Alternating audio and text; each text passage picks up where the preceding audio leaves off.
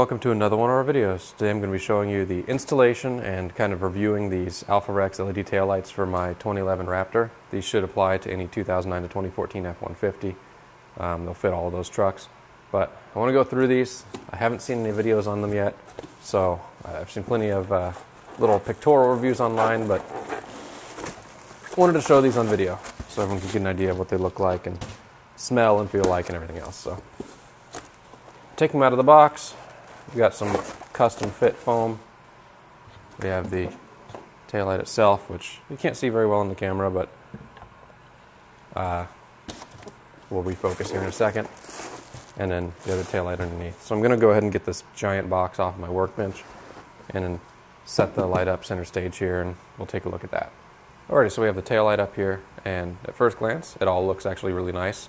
I'm not a big fan of aftermarket taillights normally, but there's really no good looking LED option out there for the uh, first gen Raptors. So this was the, the best thing that I was able to find at the time um, of filming this, which is early 2022. And they, they look pretty decent. They seem to be pretty decent build quality. Now my truck's a black truck, so I went with the smoked look lights. You can see on the back side, we've got some little blink off stickers for uh, where some of the bulbs go, and I think these are just where the LEDs plug into bulb sockets. You can see the connectors right there. We have built-in load resistor, which is nice, so we don't have to worry about wiring any of that in ourselves for the turn signals or anything like that. Um, got the little drain tube, as most taillights and headlights have. And overall, construction, fit and finish, it looks pretty darn good overall. So now I'm going to go ahead and, uh, before I even install these, I'm going to go ahead and ceramic coat them because uh, I want to make sure that they last as long as possible. I live out here in the desert southwest in Arizona, and the sun really takes its toll on everything, so I want to make sure I've got these protected. And we're going to go out to the truck and uh, show you the installation and everything. All right, so we're here at the back of the truck, and we should need to do nothing more than remove these two 8 millimeter bolts here, and basically push the tail light back towards the back of the truck. So we're going to try that here in real time.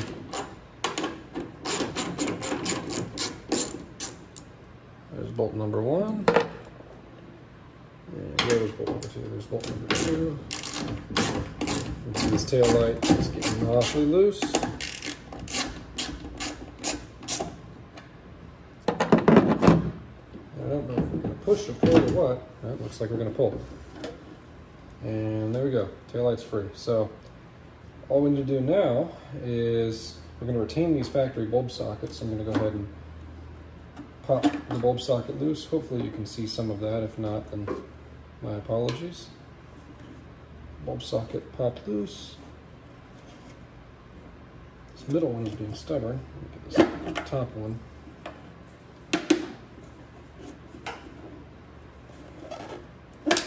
There we go. Middle one's loose now too. So that is all three sockets loose and the tail light out. So Removal of the lights as easy as that. I'm going to go ahead and clean all in here. I highly recommend you do that too. And I personally am also going to be popping the uh, little lower lamps here, the marker lamps, and going to be polishing these uh, polishing those up too, because mine are a little cloudy. So I'm going to go ahead and clean all the stuff inside the tail lamp uh, housing area and move on from there. All right, so tail light area is all cleaned up. I got the lamp down here all polished up. Um, if you're going to do that, make sure you just press it out from the back side. There's a connector back in here that you can get to and release and everything, but um, overall that's, that's a pretty darn easy thing to do. Um, all of this is ready to go in now. There's a couple, it looks like clips that are, I'm not sure where they go, but that are kind of floating around in here. We'll see how that all secures onto the new tail light. So, new lamps here. What we're going to need to do is, for the bulb sockets, pull out the old bulbs. I'm hoping, I'm going to have to put the tail light down for this, that this new light is not polarity sensitive, because otherwise we're going to have to pop it in, test it, and possibly pop it back out. But you can see we have the old bulb out here. Old bulb comes out here. Those we just have to pull out. And then, again, no instructions, but I assume that the top uh, lead from the taillight plugs in here, bottom lead plugs in there. You'll see I have a different bulb here. This is a nice little LED one that I have uh, from a company called Lasfit. I like their LED lights, although the one thing I don't love about them is the fact that they show up a little bit amber inside the, the housing because they're colored a little bit amber. But um, we can go ahead and throw that one in the bottom here. And it should socket it in and then twist to lock. There we go. And then, like I said, I assume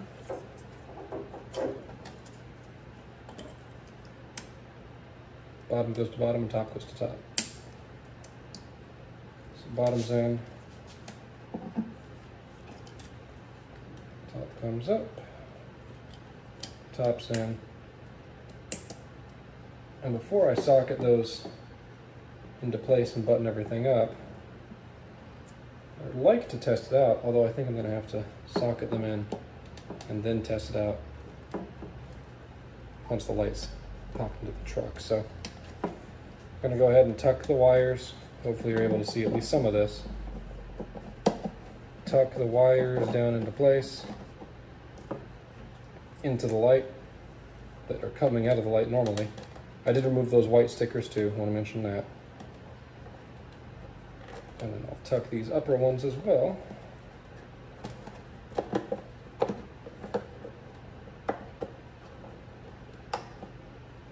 And the light should just slide into place. I don't necessarily want to pop it all the way in because I want to make sure that the lights are plugged in correctly.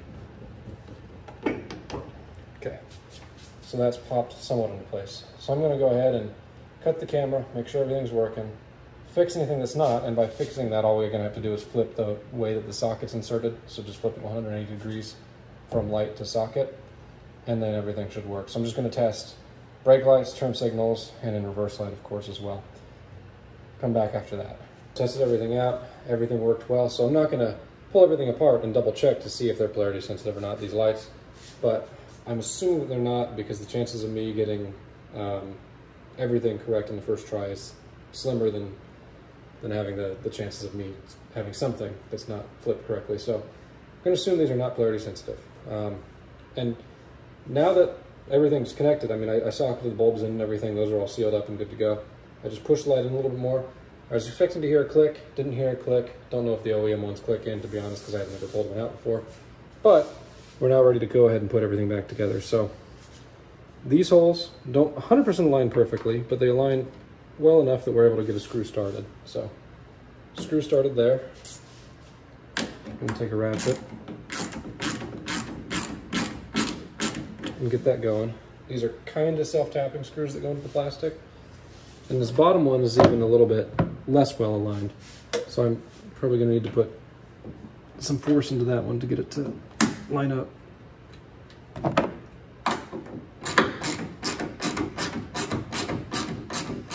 And I'm gonna go ahead and snug that one down to start with.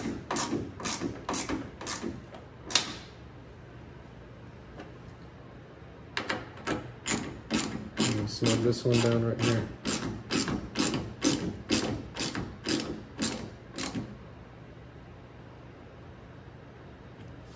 Those are nice and snug, not over tight. Not using a ton of torque on the ratchet, just using my palm. And that's these installed. So let me uh, move the camera and I'll show you kind of what these look like. Not lit up as well as lit up. It's not gonna be the best shots in the world just because I'm stuck in a garage, but I'll show you how it looks. So here's what the light looks like now installed. Everything is, is set back in place. It's all bolted in like you saw. And this is what it looks like with just the ignition on.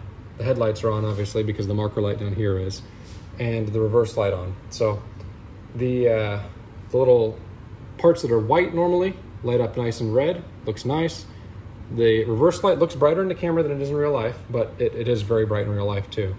Um, and that's with that LED bulb that I put in. If you use your stock one, it's not gonna be this bright, it's not gonna be this white. So that's what the light looks like in that state. Now, if we go ahead and hit the brake, You'll see what it looks like when we light up the brakes.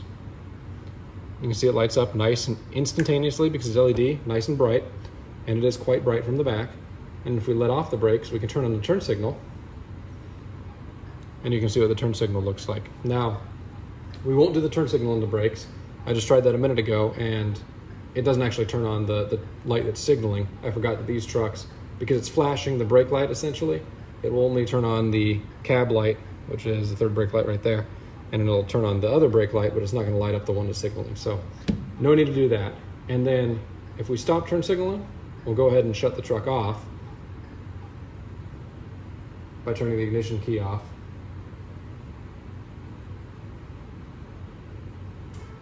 And you can see what it looks like with the uh, with everything off. So um, it looks pretty good. Um, I really like the way that they look whenever they're on, whenever the truck's on, lit up.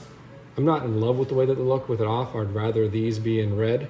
Um, but that's that's me being nitpicky, and I can live with this at least until I maybe see something else that I like better. So maybe if Morimoto comes out with a tail light, or if AlphaRex comes out with a, a different styled one, uh, I might go with something like that. I do like the red ones that they have as well, the red red smoke, quote unquote. But they didn't have any whenever I ordered these. Number one and number two, I don't know that I like those as much on the black truck as I do the black lights on the black truck. I really like the black surround and everything. Um, and I can't remember if those have it, but I think that was a factor in my decision making. It's been a while since I actually bought these. I bought these, uh, added to cart and purchased uh, over a year ago at this point whenever I'm filming the video. So it's been a little bit, but that's kind of why I went with these ones. But overall, I do like them. I'll run them. I'll see how I, I like them long term. And if I decide to change it up, I'll change it up. But with that, I want to thank you all for watching. Hope to see you in the next video. Take care.